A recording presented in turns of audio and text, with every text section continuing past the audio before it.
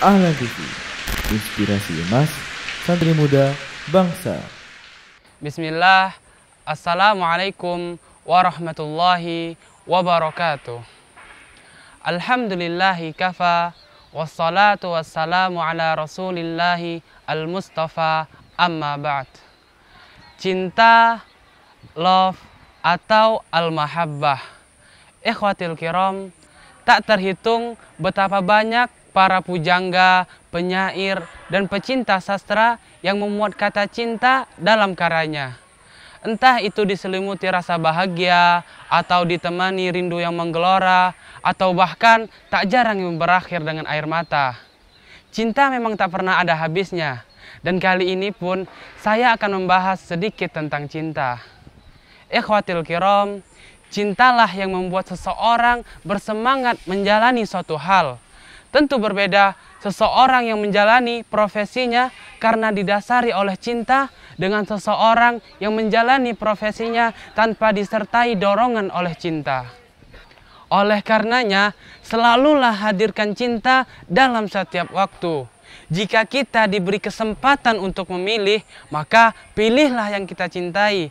Dan jika kita tidak diberi kesempatan untuk memilih, maka cintailah apa yang telah kita miliki. Kata sebagian motivator, do what you love and love what you do.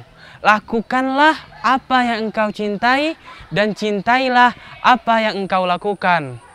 Dan ternyata ikhwatil kiram, dalam beribadah kepada Allah Subhanahu wa taala, kita juga harus menghadirkan yang namanya cinta.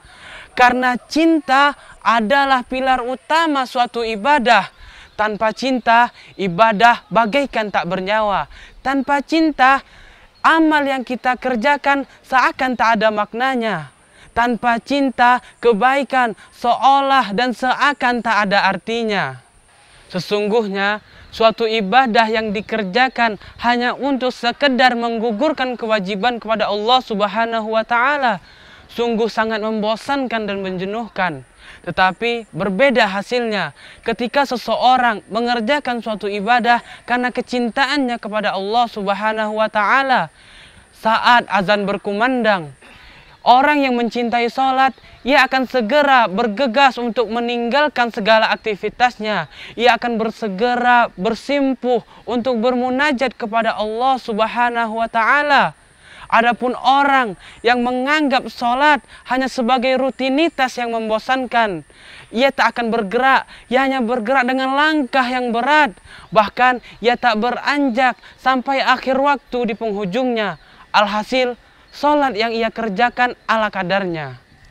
Oleh karenanya, marilah kita meniti jalan ketaatan karena kecintaan kepada Allah Subhanahu wa taala, bukan karena puji dan sanjung lisan manusia dan bukan pula karena terpaksa diperintah ataupun disuruh. Karena cinta adalah ibadah dan ibadah hanya boleh diperuntukkan untuk Allah Subhanahu wa taala, zat yang telah menciptakan cinta.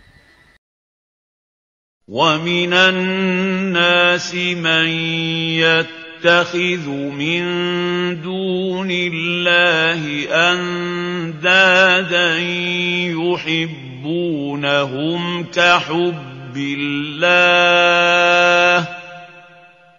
والذين امنوا اشد حبا لله